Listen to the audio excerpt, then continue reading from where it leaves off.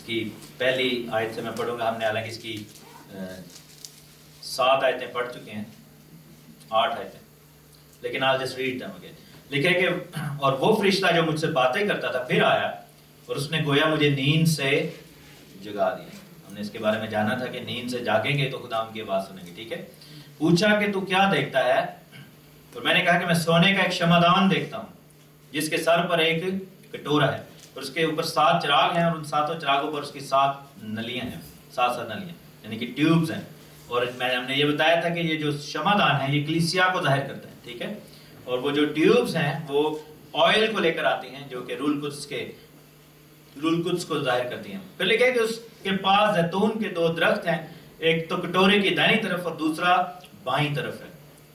मैंने उस फरिश्ता से जो मुझसे कलाम करता था, पूछा कि मेरे आका, ये क्या है? तब उस फरिश्ता ने जो मुझसे कलाम करता था, उसने कहा कि क्या तू नहीं जानता कि ये क्या है? मैंने कहा, नहीं है मेरे आका।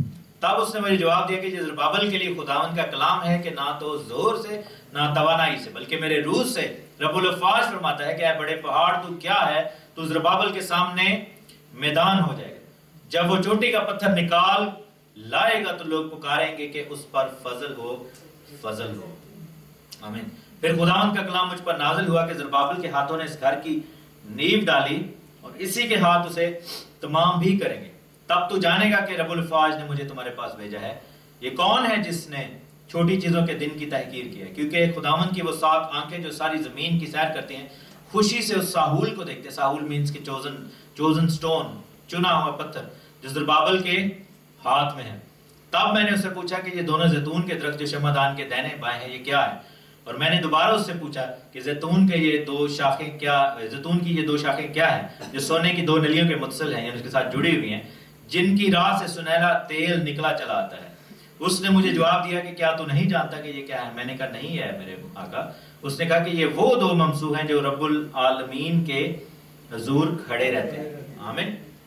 सो ये चैप्टर जो है, ये बड़ा ही सिग्निफिकेंट चैप्टर है। इसमें हम बहुत सारी बातें जो है वो सीखते हैं।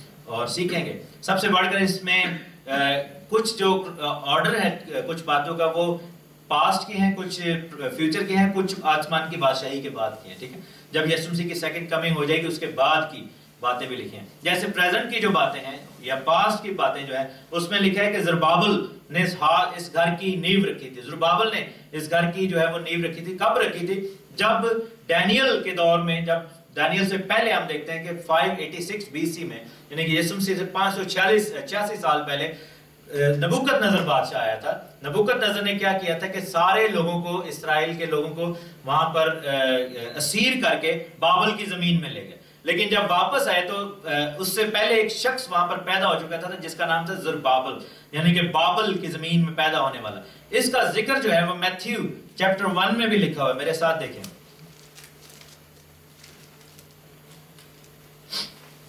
उसकी पहली है, पहले बाप की पहली है। लिखा गया यीशु मसीह इब्ने दाऊद, इब्ने इब्राहिम का नसब नामा। ठीक है? यीशु मसीह इब्ने दाऊद, इब्ने इब्राहिम का नसब नामा। इब्ने दाऊद इसलिए कि वो बादशाह है और इब्ने इब्राहिम इसलिए क्योंकि वादा की नस्ल का वो फर्जंद है। ठीक है?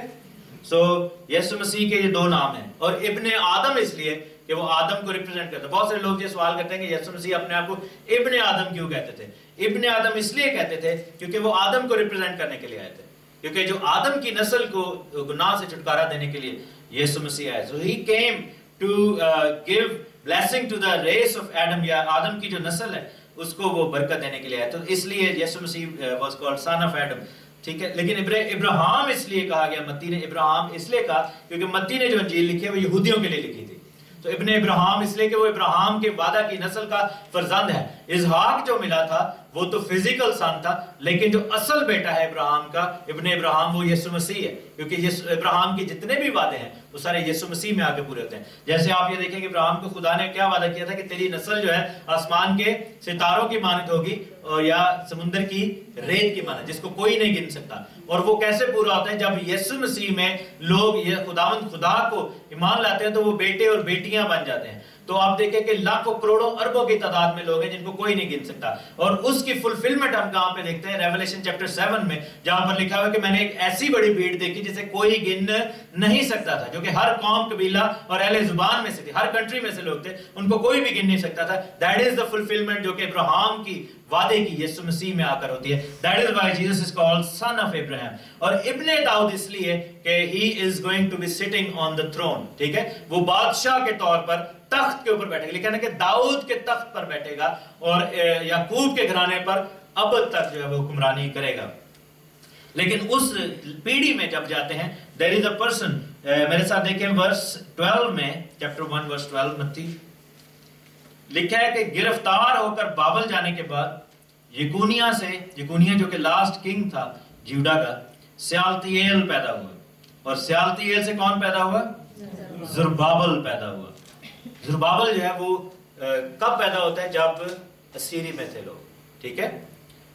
जब असीरी में थे, तब जो है वो जुरबाबल पैदा होता है। वापस जाएँगे, और लिखा है कि जुरबाबल के लिए खुदा हम वापस जाके चैप्टर फोर वर्स सिक्स में देखेंगे। उसने कहा कि जुरबाबल के लिए खुदावन का कलाम है कि ये ना तो ज़ोर से, ना तवानाई से, बल्कि मेरी रूह से खुदावन फरमाता है। ए बड़े पहाड़ तो क्या है तो जुरबाबल के सामने मैदान हो जाएगा। जब वो चोटी का पत्थर निकाल कर लाएगा तो लोग पुकारेंगे कि इस पर फजल हो फजल हो। हालेलुया। एक और नस्ल जो है, एक तो जुरबाबल जो है, वो असीरी में पैदा हुआ, यानी कि बाबल के अंदर पैदा होने वाला शख्स है। एक और नस्ल जी थी, जो कि बियाबान में पैदा हुई थी, वो कौन सी नस्ल थी? इसराइल की नस्ल। क्योंकि आपको पता है कि जब बनी इसराइल को निकाल कर लाए थे तो जो लोग इजिप्ट में से निकल कर आए थे, वो मुल्क के नान में नहीं गए थे। हाउ मेनी पीपल किस किस को पता है? नहीं। बहुत सारे पता जो लोग वहाँ से निकल कर आए थे वो बियाबान में मरे थे। और फिर नई नस्ल जो वहाँ से पैदा हुई थी वो जो है वो केनान के मुल्क में गई थी ठीक है? ये किस चीज़ का निशान है? कि जैसे हम पैदा होते हैं वैसे हम खुदा की बादशाही में नहीं जा सकते। हमें इस दुनिया के अंदर एक दफ़ा मरना ज़रूर है। जो तौबा करता है और बपतिस्मा लेता है वो समझे वो जो मिस्र से निकला था मिस्री जो था जिसकी आइडेंटिटी मिस्री थी जिसको मिस्र की रगड़े लगी हुई थी वो पुरानी इंसानियत को वहाँ पर मरना पड़ा, क्योंकि वो कुड़कुड़ाने वाले लोग थे, वो नाशुक्रे लोग थे, बुड़बुड़ाने वाले लोग थे। मूसा के खिलाफ वो जो है वो वो प्लॉट करते थे, मूसा के खिलाफ वो बातें करते थे।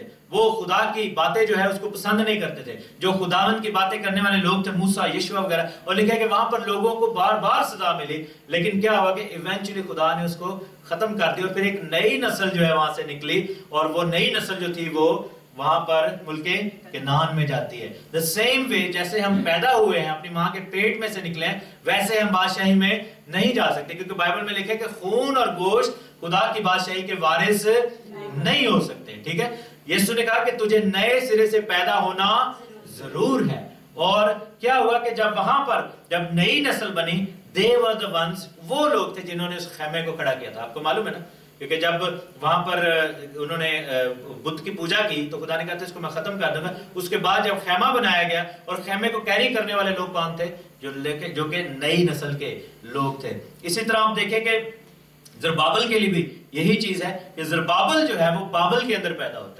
जरबाबल जो है वो असीरी के अंदर पैदा होता है, लेकिन जब वो वापस आता है, इससे पहले कि खुदावन यसु मसीह आए और उस हैकल में खड़े हो जरबाबल ने अपने हाथों से हैकल बनाई थी, ठीक है? अपने हाथों से उसके लिखा ना उसके हाथ में जब मैं वो कोने के सिरे का पत्थर देखता हूँ, वो खास चुना हुआ पत्थर देखता हूँ, जो कि बुनियाद के तौर पर रखा गया वहाँ पर तो उससे जो है वो खुश हो रही है खुदावन की दिल खुश होता है। और फिर लिखा है कि, चूँकि तूने ये पत्थर लगाया, तूने ये पहला पत्थर रखा था, अब तेरे ही हाथ उस हैकल को फिनिश भी करेंगे।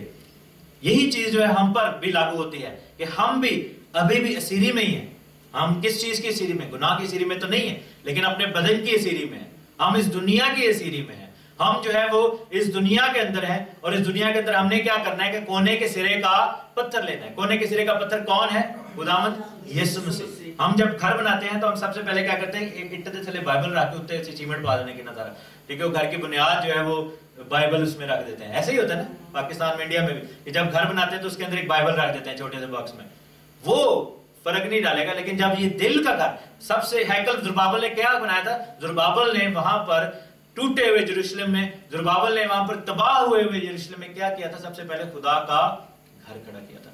और खुदामंद खुदा क्या कहता है? कि तुम ज़िंदा खुदा का मकदिस हो। तुम ज़िंदा हैकल हो। और खुदा का रूह तुम में बसा हुआ है।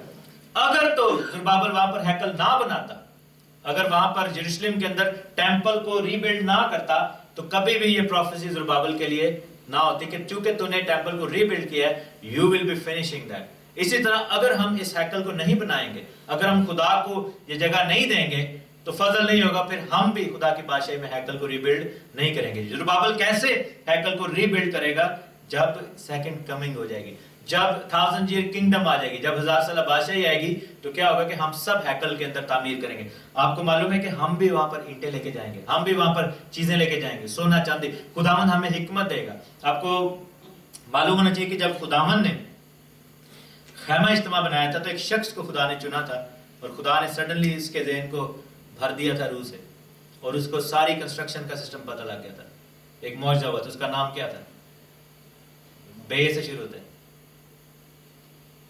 बजलियल बजलियल बिन उरी, ठीक है? उसका नाम था बजलियल बिन उरी, जिसका मतलब है, उरी का मतलब है नूर से निकला हुआ, ठीक है? तो खुदावन ने लिखा है कि उसको अपनी रूह से भर दिया और उसको सडनली ऐसी हिकमत दे दी कि उसने क्या किया कि उसने एक एक चीज़ जो खैमे की चीज़ें उसने सी, उसने बनाई, उसने एक एक चीज़ जो आर्टिफैक्ट्स है हैकल के वो बनाए और उसने सारी वो रोटियों का टेबल, अहद का सलूक सब कुछ बजलियल ने बनाया था, ठीक है? तो जब हम दिल लगाते हैं कि खुदामंद खुदा जो है, हम उसके घर को बनाएँगे तो फिर खुदा हमें हिकमत ज़रूर देगा। खुदा अपने रूह से ज़रूर भरेगा। और लिखे कि जब जब लोग पुकारेंगे कि उस पर फजल हो फजल हो। हालेलुया। फजल हो फजल हो। जब कोने का पत्थर जो है वो, जो कोई निकाल कर लाता है तो उस पर क्या होता है? फजल होता है। वो कोने के सिरे का पत्थर कौन है? खुदामंद यीशु मसीह। कोने के सिरे का पत्थर उसको क्यों कहते हैं कि उसका सारा जो घर होता है हमारा वो उस पत्थर के ऊपर खड़ा होता है? आपको पता है कि हर बिल्डिंग के अंदर एक ऐसा कॉर्नर होता है एक ऐसा बुनियाद होती है जिसको अगर टच किया जाए तो वो पूरी बिल्डिंग गिर सकती है। ये जो डेमोलेशन की आपने देखी होगी ये बिल्डिंग्स की डिमोलिश जो करते हैं बॉम्ब लगा के। कभी देखा आपने वीडियो में वो नीचे जो डायनामाइट लगाते हैं और पूरी बिल्डिंग ऐसे ही बैठ जाती है। अभी ग्लासगो में दो तीन बिल्डिंग वेरी गुड वो कैसे करते हैं, वो सारी जगहों पे हमें कोई दे तो मैं तो क्या करूँगा, मैं उसके एक एक कमरे जाके डायनामाइट लाऊँगा, लेकिन ऐसे नहीं वो करते है, लिखा है, वो क्या करते हैं कि वो एक खास उसके कोनों में लगाते हैं, जिनके ऊपर पूरी बिल्डिंग जो है वो खड़ी होती है। जैसे ही वो उनको हिला देते हैं तो पूरी बिल्डिंग नीचे आकर गिर जाती है। कोने के सिरे का पत्थर जो है, उस पर सारी बिल्डिंग खड़ी होती है, वो डिपेंडेंट होती है, ठीक है? यही गुलाम यसु मसीह ने कहा था कि मुबारक है अक्लमंद आदमी वो है जो मेरे कलाम को सुनता और उस पर अमल करता है, क्योंकि उसने अपना घर किस पर बनाया है? चट्टान पर बनाया मेरे जी तो हमें ये देखना है कि फजल के लिए चोटी का पत्थर या कोने का पत्थर जो है निकाल कर लाना, उसको लगाना है। हम पर फजल कई दफ़ा क्यों नहीं होता? हम क्यों प्रॉब्लम में चले जाते हैं? क्योंकि हमारी डिपेंडेंसी खुदावन पर नहीं होती। दैट्स द इशू कि हम अगर खुदावन पर डिपेंड नहीं करेंगे, खुदावन हमारा सेंट्रल फोकल पॉइंट नहीं होगा हमारी लाइफ का। खुदावन हमारे घर की जो बिल्डिंग है, हमारा जो खेमा जो है, हमारी जो जात है, उसका अगर महवर जो है, उसका अगर स्पिनिंग जो पॉइंट है, वो खुदा नहीं है तो फिर गिर जाएँगे फ़ौरन। फिर फजल नहीं होगा, फिर बीमारियाँ होंगी, फिर परेशानियाँ होंगी, फिर अबलीस आएगा। लेकिन अगर हम, अगर हमने हर चीज़ का जो है पॉइंट खुदावंत की तरफ़ कर दिया है, क्योंकि आपको मालूम होना चाहिए कि इस दुनिया में जितनी भी चीज़ें खुदा ने बनाई है, वो सारी की सारी खुदावंत का पॉइंट करती है। ठीक है? सूरज, चाँद, सितारे, कायनात, ये सारे जो लश्कर हैं खुदावन इवन पौधे हम सब, हर चीज़ खुदावन यीशु मसीह की तरफ़ पॉइंट करती है। बिकॉज़ बाइबल में लिखे कि सारी चीज़ें उसका जलाल ज़ाहिर करती है, ठीक है? कायनात, हर चीज़ जो सांस लेती है, वो खुदावन की हम गाती है। सितारे भी जो है, वो खुदावन की तरफ़ पॉइंट करते हैं। लेकिन अगर हमारी ज़िंदगी नहीं करेगी पॉइंट तो फिर फजल नहीं होगा। और लिखे कि तब जो है खुदावन कि वो सात आँखें जो सारी ज़मीन की सैर करते हैं, खुशी से उस पत्थर को देखते हैं जो जुरबाबल के हाथ में हालेलुया। जब यीशु मसीह हमारी ज़िंदगी का सेंट्रल पॉइंट है तो कौन खुश होगा सबसे ज़्यादा? खुदामंद खुदा। हालेलुया। उसकी सात आँखें, ये खुदामंद की कामलियत को ज़ाहिर करती हैं। सेवन आईज जो इसका मतलब ये नहीं कि खुदामंद की सात आँखें हैं मतलब ये कि खुदामंद की जो नज़र है, वो कामिल है। आमिर खुदावंत का जो देखना है, जो ज़मीन को वो देखता है और वो सेवन सेवन डायमेंशन के साथ जो है वो देख सकता है खुदावंत। और वो सेवन डायमेंशन को खुदावंत जो है वो देखता है। ये थोड़ा सा इसमें साइंटिफिक भी टर्मिनोलॉजी है, क्योंकि we can only see two dimension three dimension में फोर डायमेंशन ठीक है? लेकिन एक टाइम पे हम थ्री डी देख सकते हैं थ्री डायमेंशन जो हम एक दूसरे को देख रहे हैं, ये थ्री डायमेंशन में, जिसको थ्री डी भी कहते हैं। क्योंकि आप जब थ्री डी क्लासेस लगाकर वीडियो देखते हैं तो आपको रियल लाइफ जैसा नज़र आता है? तो हम जो है वो थ्री डायमेंशन में देख सकते हैं फोर्थ डायमेंशन में नहीं देख सकते, वो पीछे की तरफ़। अगर हमारे पीछे भी आँखें हो तो फिर हम फोर डी देख सकते हैं। लेकिन ये है कि खुदामन जो है वो सात डायमेंशन में देख सकते हैं, क्योंकि खुदामन हम आगीर है। दैट इज़ वाई हम इंसान और खुदा जो है वो खुदा है। अब जो फ्यूचर की बात है, उसमें लिखा है ग्यारहवीं आयत में, तब मैंने उसे पूछा कि ये दोनों जैतून के जो दरख्त हैं, जो शमादान के दाएँ बाएँ हैं, ये क्या है? उसने दोबारा उससे पूछा कि जैतून के ये दो शाखें, तब मैंने दोबारा उससे पूछा कि ये शाखें क्या है, ये कौन है? जैतून के दरख्त किस चीज़ को रिप्रेजेंट कर रहे हैं? जो सोने की दो नालियों के साथ हैं, जिनकी राह से सुनहरा तेल निकला चलाता है। उसने जवाब दिया, क्या तू नहीं जानता कि ये क्या है? मैंने कहा, नहीं, आए मेरे खुदा मेरे आका। उसने कहा कि ये दो वो ममसू हैं जो खुदामंद रबुल आलमीन के हजूर में खड़े रहते हैं। इस पे हम स्टडी कर चुके हैं। कोई मुझे बताए कि ये दो दरख्त क्या है? आमीन हालेलुया मेरे साथ देखें मुकाशफा की किताब book of revelation chapter 11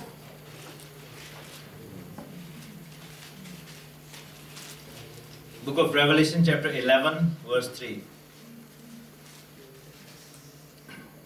लिखा है कि मैं अपने दो गवाहों को इख्तियार दूँगा, और वो टाट उड़े हुए 1260 दिन तक नबूत करेगी। 1260 दिन जो है वो थ्री एंड हाफ़ ईयर्स बनते हैं, ठीक है? साढ़े तीन साल की बात है। ये वही जैतून के दो दरख्त और दो चिरागदान हैं जो खुदावन ज़मीन के खुदा के सामने खड़े हैं। वो क्यों खड़े हैं? जैतून किस चीज़ को ज़ाहिर करता है? मेरे साथ देखें जिसाया की किताब, Isaiah chapter five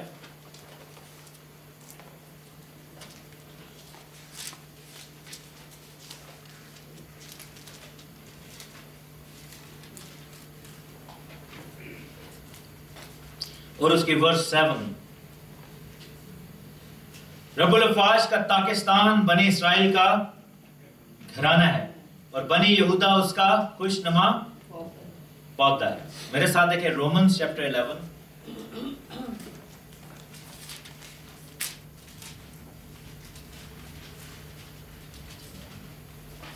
chapter eleven उसके वर्ष सिक्सटीन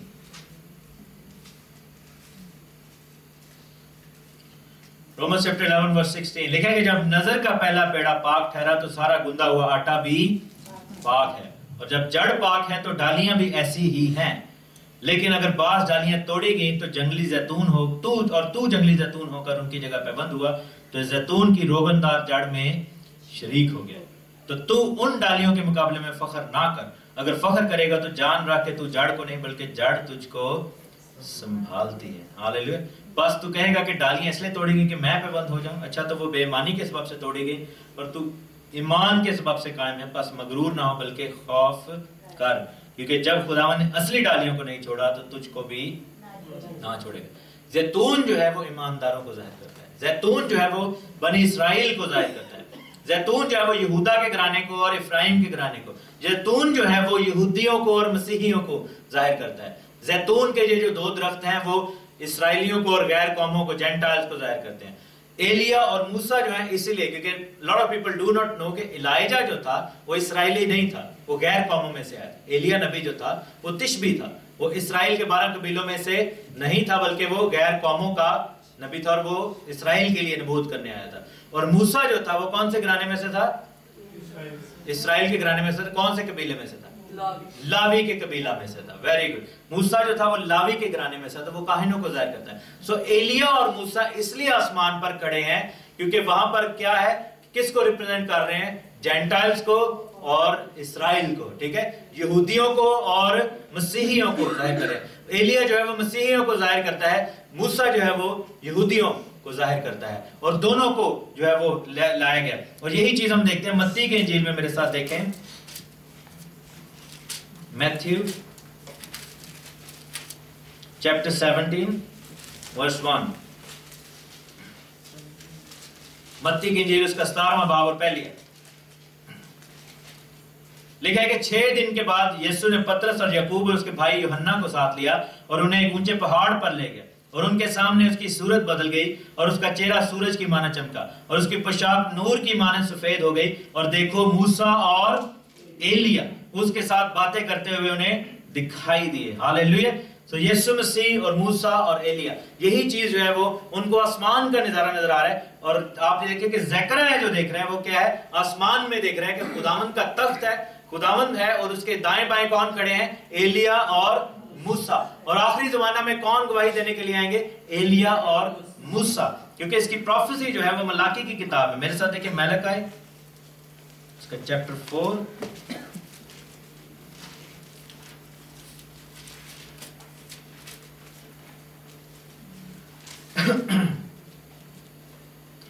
और उसकी चौथी आयत.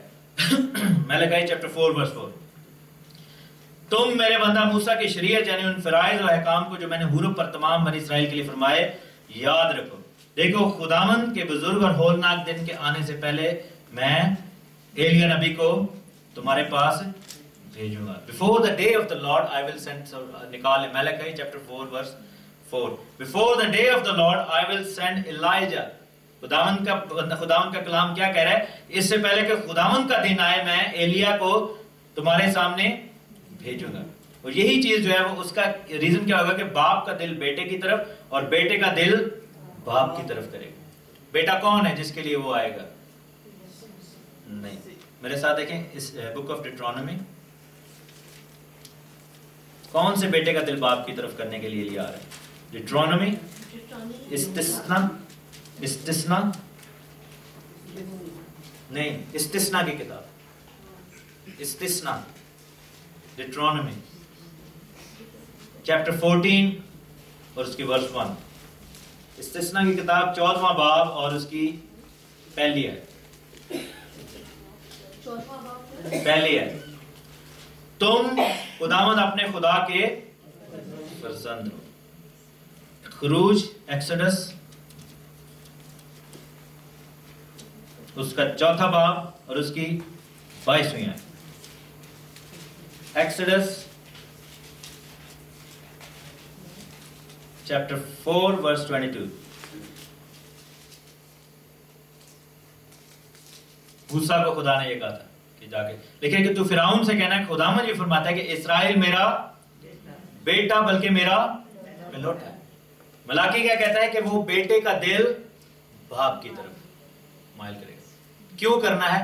कब करेगा? जब आखिरी जमाना में वो प्रीचिंग के लिए आएगा इलाज। ठीक है?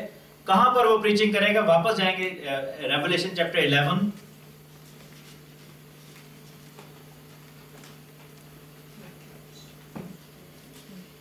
और उसकी वर्ष फाइव से हम देखेंगे। अगर कोई उन्हें ज़रूरत पहुंचाना चाहता है तो उनके मुँह से आग निकलकर उनके दुश्मनों को खा जाती है। कितने पावरफुल ये प्रॉफिट्स होंगे। और अगर कोई इन्हें ज़रूरत पहुंचाना चाहेगा तो वो ज़रूर उसी तरह मारा जाएगा। उनको इख्तियार है कि आसमान को बंद कर दे, ताकि उनकी नबूत के जमाने में पानी ना बरसे। आमीन।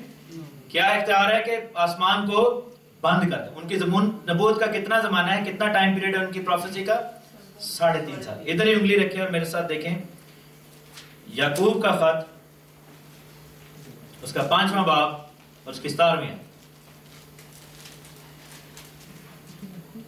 James chapter five verse seventeen ये इख्तियार किसने इस्तेमाल किया था? एलिया हमारा हम तबीयत इंसान था। उसने बड़े जोश से दुआ की कि मी ना बरसे, चुनाचे साढ़े तीन साल तक मी ना बरसा। ये किसकी बात हो रही है? जब अखियब एजबल, या जेजबल जिसको हम कहते हैं, उसका दौर था। तो इलाइजा ने प्रोफेसी की थी कि साढ़े तीन साल तक यहाँ पर पानी नहीं बरसेगा। और पूरा इसराइल जो है वो काल में पड़ गया था। और बाइबल में लिखा है कि गधे का गोश्त लोग खाते थे। गधे का सर जो है, वो चांदी के सिक्कों में बिकता था। कबूतर की बीट खाते थे। यानी कि वहाँ पे जो कहने के जो पॉटी है, वो खाते थे लोग। बच्चों को खाना शुरू हो गए थे एक दूसरे के। और उन्होंने अपने बच्चों को और दुनिया के बहुत सारी जगहों पर ये काम शुरू हो चुका हुआ है। और ये यानी कि लोग ऐसा होगा आखिरी जमाना में कि फिर फिर वही चीज़ जो है दोबारा आएगी। और इलाइजा जो है वो क्या करेगा कि आसमान को बंद कर देगा। थ्रू आउट हिज प्रोफेसी जो उसके साढ़े तीन साल का अरसा है, जिसमें आखिरी जमाना के दो नबी आएँगे, जो कि बहुत जल्दी आने वाला टाइम है, उसमें क्या होगा कि इलाइजा जो है वो बंद कर देगा आसमान और दुनिया में कहत पड़ जाएगा।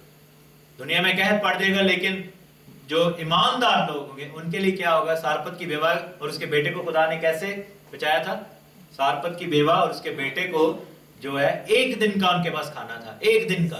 और लिखा है कि इलाजा उनके पास चला गया और फिर उन्होंने साढ़े तीन साल तक जो है वो खाना खाते रहे थे और रवायत ये कहती यहूदियों की रवायत ये कहती कि सारपत की बेवा का जो बेटा था वो यूना नबी था जिसने जाकर नैनवा को जो है वो प्रीचिंग की थी। अगर हम यहूदियों की स्टोरी पढ़े तो तो वो जो यूना नबी था उसको कहा जाता है कि वो सारपत की बेवा का बेटा था। और दूसरा जो है वाप, वापस जाएँगे लिखा है कि आसमान को बंद कर रहे हैं रेवल्यूशन चैप्टर 11 वर्स 6 में है, और पानियों पर इख्तियार है कि उन्हें खून बना दे।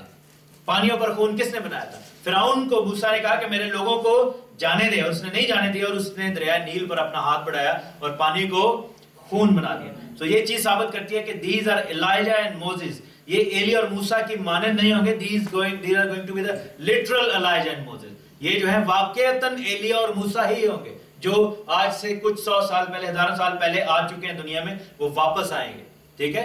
वो वापस आएँगे और खुदावन का कलाम जो है वो साढ़े तीन साल तक वहाँ पर सुनाया जाएगा, फैलाया जाएगा। और लिखा है कि जितनी दफ़ा चाहे ज़मीन पर हर तरह की आफत लाएँगे, जब वो अपनी गवाही दे चुकेंगे तो वो हैवान, यानी कि जो बीस्ट है, जो एंटी क्राइस्ट है, वो था गड़े से निकलेगा और उन पर लड़कर, उन पर गालिब आएगा और उनको मार डालेगा। So they will be dead there और उनको मार दिया जाएगा। और फिर लिखा है कि उनकी लाशें उस बड़े शहर के बाज़ार में पड़ी रहेंगी, जो रूहानी एतबार से सदूम और मिस्र कहलाता है, जहाँ उनका खुदामन भी मसलूब हुआ था। कौन से शहर में खुदामन मसलूब हुए थे? यरूशलेम के अंदर।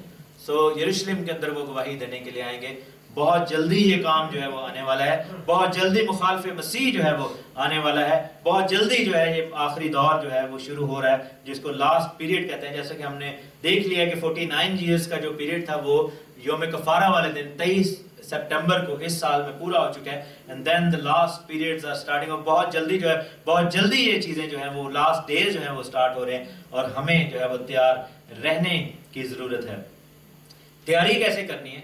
साढ़े, दो चीज़ें हमारे पास, या तो साढ़े तीन साल का राशन रख लिए या फिर हम खुदा पर ईमान ला के खड़े आमिन। लिखा कि उसके हाथ में कोहे, कोने के सिरे का पत्थर था और उसने जब उस पत्थर को देखा तो खुदा की रूह खुश हुई। और उस पर क्या हुआ? फजल हुआ फजल हुआ। हाल तो ए, कुछ लोग ऐसे हैं जो कि शायद इतने सालों का बल्कि कोई भी मैं नहीं समझता कि इतने सालों के लिए कोई जमा कर सकता खाना। लेकिन उस वक्त अगर कोई चीज़ हमें बचाएगी तो वो खुदावंत का फजल होगा। It will be the grace of the lord which will save us in the end times ठीक है? उस वक्त खुदावन ने कैसे बचाएगा मेरे साथ? देखें मुकाशवा किताबों का revelation chapter 3 verse 10 book of revelation chapter 3 verse 10 प्रकाशवा 3 10 क्योंकि तूने मेरे सबर के कलाम पर अमल किया है, इसलिए मैं भी आजमाइश के उस वक्त में तेरी हिफाजत करूँगा, जो ज़मीन के रहने वालों के आजमाने के लिए तमाम दुनिया पर आने वाला है। मैं बहुत जल्द आने वाला हूँ, जो कुछ तेरे पास है उसे थामे रहे, ताकि कोई तेरा ताज छीन सारे क्रिश्चियंस को ये ब्लेसिंग नहीं मिलेगी मेरे जीजो। सारे क्रिश्चियन से मुराद ये है कि इफ़ वी थिंक कि चूँकि मैं मसीह घराने में पैदा हुआ तो मैं बच जाऊँगा। हम बहुत गलत हैं। हम सोच नहीं सकते। जिन मसीहियों का खुदावन के साथ ताल्लुक है, अगर तौबा ही नहीं की, बपतिस्मा नहीं लिया, अगर हमने खुदावन को अपनी ज़िंदगी नहीं दी तो कैसे खुदावन हमें बचाएगा? Why would he do that क्यों वो करेगा? अगर आपका कोई रिश्तेदार ही नहीं है, किसी के साथ आपका ताल्लुक ही नहीं है तो आप क्यों उसको पालेंगे? क्यों उसको कवर करेंगे? You will not do that एक औरत अगर सड़क पे जा रही है तो वो एक आम औरत है, उसका आपसे कोई रिलेशन नहीं लेकिन अगर आपकी बीवी जा रही है तो उसकी आप केयर करेंगे। जहाँ पे भी जाएगी आपका हस्बैंड या बीवी या बच्चे तो आप उनके लिए सोचेंगे, फ़िक्र करेंगे। लेकिन एक ताल्लुक ही नहीं है। और यही चीज़ खुदामंद कहता है कि उस वक्त लोग मुझे आकर कहेंगे, आए खुदामंद आए खुदामंद और मैं कहूँगा कि मैं तो तुम्हें जानता ही नहीं। लोग खुदावंत के नाम पर कुफर बकेंगे, लोग खुदावंत को गालियाँ देंगे। हमारा कोई मर जाता है तो लोग खुदावंत को गालियाँ देने शुरू हो जाते हैं। हमारे मसीह भी। तो उस वक्त तो लोग देंगे ही देंगे, क्योंकि वो कहेंगे कि ये कहो जा खुदा जो सानू नहीं बचाता लेकिन लोग अपने आप को नहीं देखेंगे उस वक्त। कि ए कहो जा इंसान है कि जिन्होंने बचाना चाहिए भी कि नहीं यू नो खुदावन क्यों आपको बचाए? वो मैंने कलाम में लिखे कि खुदावन ने हमारा ठेका नहीं लिया हुआ, हम खुदा को ब्लैकमेल नहीं कर सकते। खुदावन हमें सिर्फ़ उसी वक्त बचाएगा अगर हम सच्चाई के साथ खुदावन के साथ खड़े रहेंगे। आमीन? अगर हम सच्चे तौर पे खुदावन के साथ खड़े रहेंगे तो खुदावन बचाएगा। क्योंकि खुदावन ने जिन जिन को बचाया था, वो सारे सच्चाई के साथ खड़े थे। जब वो आग का बहुत बड़ा उन्होंने बना दिया वो सारा सिस्टम और उन्होंने कहा, जी, सजदा करो। उन्होंने कहा जैसे नहीं करना। उन्होंने कहा सुट देंगे उन्होंने कहा, नहीं करना। कहा, मार देंगे नहीं करना। उन्होंने कहा, हम नहीं करेंगे। जो मर्ज़ी कर। उन्होंने कहा, मार दिए मार दो चलो, उन्होंने फेंक दिया। लेकिन कितने लोग वहाँ पे थे? तीन लोग थे, तीन लोग थे। यीशु ने क्या कहा था कि जहाँ भी दो या तीन मेरे नाम से जमा होंगे, मैं उनके बीच में होगा और वादा पूरा हुआ था कि नहीं हुआ तीन आग में थे और उनके बीच में खुदामंद आकर मौजूद हो गया था। और बादशाह जो था, वो खड़ा हो गया। वही जड़ा बादशाह जो दो गैर कौम का बादशाह था उसने देखा कि हमने तो तीन फेंके हैं, ये चौथा कौन है? इसकी शक्ल जो है इलाजात की तरह ये आसमान की मखलूक लग रही है। ये कौन है? आसमानी जो है। और हम, मेरे जीजो हम तब ही बरकत पाएँगे अगर हम इस तरह के फैसले खुदा के लिए करेंगे दलेरी के साथ। और आखिरी ज़माना है, और ये गवाह जो है, वो बहुत जल्द आने वाले हैं। हमारी खुश नसीबी ये है कि हम अपनी आँखों से मूसा और एलिया को पहले ही देख लेंगे, मसीह की आमद से पहले देखेंगे।